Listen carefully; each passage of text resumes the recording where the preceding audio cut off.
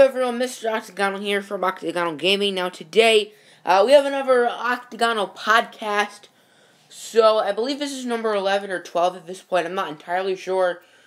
But uh, today, we're going to be talking about a few things, including uh, the Cleveland Cavaliers struggles, Blair Walsh, and probably something else, which probably Eric Bledsoe, the Pistons. I don't really know at this point. But uh, first, we'll be talking about the Cleveland Cavaliers. They have not had a good start to this season. It's been ugly, and I have not been concerned about them this whole season until yesterday. They just lost to the Hawks. Let me say that again. They just lost to the freaking Hawks.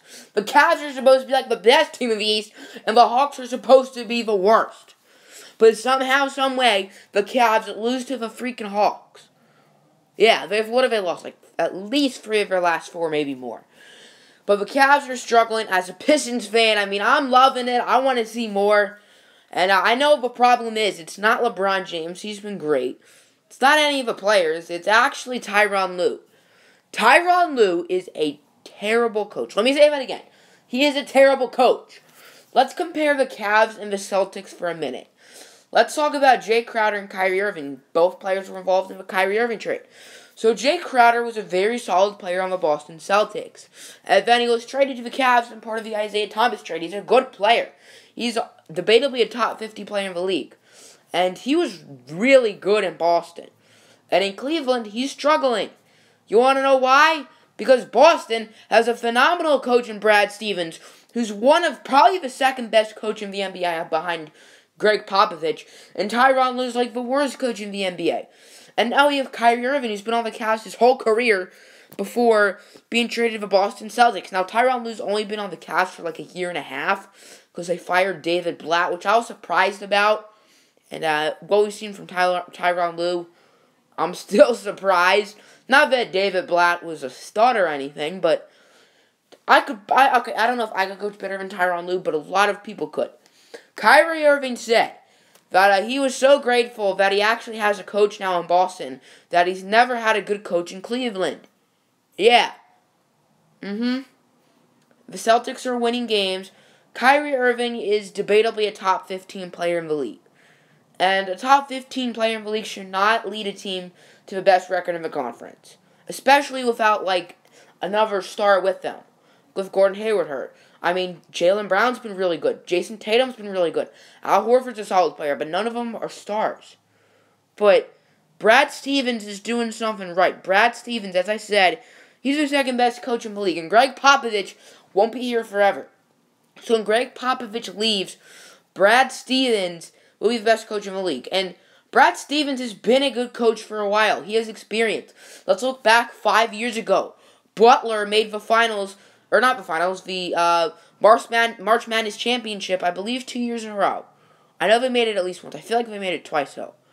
But yeah, Butler, a very small school led by Brad Stevens, and this small, this little known player by the name of Gordon Hayward. Look where he is now. I mean, he's on the bench hurt, but look where he is now. He's an all-star talent player. But Brad Stevens has led crappy teams to the promised land. Now, if we look at Tyronn Lue, He's won an NBA Finals. You can't take that away from him. Or should I say, Coach LeBron won an NBA Finals because it's LeBron and a bunch of scrubs on that team. But the problem with the Cavs is they need to fire their coach. I think when Isaiah Thomas is back, he's not going to look the same as he was in Boston. Not just because of his hip injury, that will be part of it, but also because he doesn't have as good of a coach. So I think Cleveland should fire Tyronn Lue, say bye bye, you're trash, and sign someone good. I don't know, like Mike Brown or something, who coached very well in the playoffs this year for the Warriors. I know the Warriors are a juggernaut, but they didn't lose except for Game Four of the NBA Finals when the Cavs were against the wall. Their backs were against the wall. So uh, yeah, Cavs need to fire uh, Tyronn Lue immediately. But uh, as a Pistons fan, I kind of hope they don't, since he's trash. We're doing really well. I'm loving life right now. As We're going to be talking about the Seattle Seahawks, who somehow, some way Lost to the Redskins yesterday. The Redskins aren't a bad team, but Seahawks should have won that game. And uh, who's the culprit of the Seahawks loss? Uh, his name is Blair Walsh. Now, you guys may know Blair Walsh. He used to play for the Vikings. He was pretty good until choke. If you guys don't remember, a few years ago, I think 2016 of a playoffs the year, Denver won the Super Bowl. So I believe 2016 of a playoffs, like January, like the early 2016, like the 2015-16 season, in the wild card round, the Minnesota Vikings were hosting the Seattle Seahawks, and the Vikings were driving down the field, down by like two points. And in my head, I was thinking, the Vikings are gonna find a way to screw this up. Blair Walsh missed the, the chip shot field goal. Vikings lost. Yeah. So you'd think the Seahawks would know that Blair Walsh sucks, right? Because it was against the Seahawks. The Seahawks witnessed it firsthand. Well, they signed Blair Walsh, and Blair Walsh missed three field goals yesterday, and is why the Seahawks lost. So thanks, Blair Walsh. Now my picks suck because the Seahawks lost, the Texans lost. Thanks, Blair Walsh. Hopefully my Lions win tonight, but yeah. Not, I'm, I'm so grateful we actually have a good kicker in Matt Prater. But anyway, I would not be concerned if I was a Seahawks fan because it's not like it was really your team's fault. It was just your kicker's fault. And that's an easy mistake you can address. So let's see if the Seahawks can rebound or if the Rams will end up winning that division. Last but not least, we're going to be talking about Eric Bledsoe. There have been plenty of Eric Bledsoe trade rumors for the past few weeks. I don't think he's played a game since the GM said they were going to trade him, and the GM said that Bledsoe probably played his last game as a Sun.